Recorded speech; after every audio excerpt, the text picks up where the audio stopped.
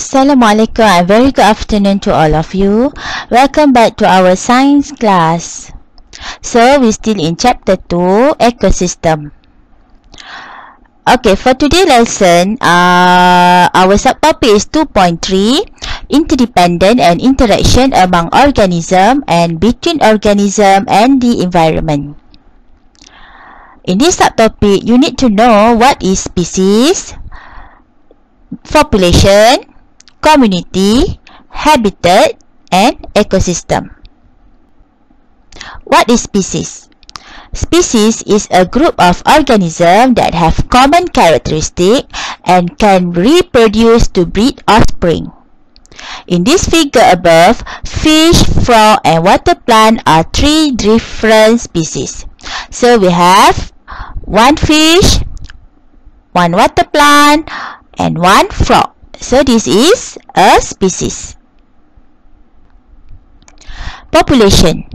A population is a number or group of organisms of the same species that live together in a habitat. So, here we have a population of fish, a population of water plant, and a population of frog. Also, we have a population of butterfly and a population of water snail. Community.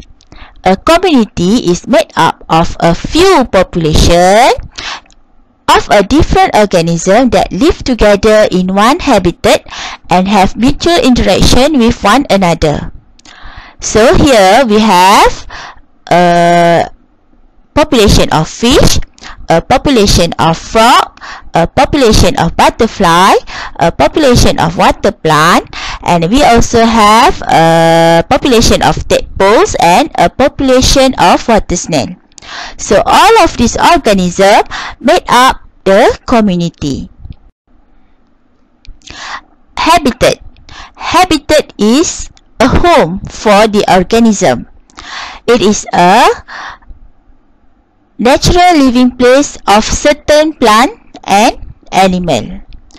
So this is uh, the habitat for the organism to get air, food, space, shelter and place to them to breed. So this is a habitat for water lily. It is also a habitat for frog, habitat for water, habitat for water plant, ecosystem. What is an ecosystem? An ecosystem refers to the community of organisms living in the same habitat together with non-living environment. So here we have a community of fish, a community of water plant, community of frog, community of water snail, a community of butterfly, a community of grass, and together with a non-living environment, we have water, air, and soil. So this made up an ecosystem. a balanced ecosystem. Organisms in ecosystem are interdependent on each other to ensure the survival of the species. These organisms are also interdependent on non-living components in the environment such as water, light, air and soil. The interdependence that exists between organisms in their natural surrounding creates a balanced ecosystem. So the ecosystem is balanced when the living organism and non-living component in the environment are state uh, in a state of harmony without any external interference. Importance of adaptation of living things to the environment. So here we have three different habitats. We have tropical, desert and tundra. Every organism have unique ecosystem within which it lives. So there are this is where the basic needs of the organism to survive are met. For food, for water, shelter from the weather and the place to breed its young.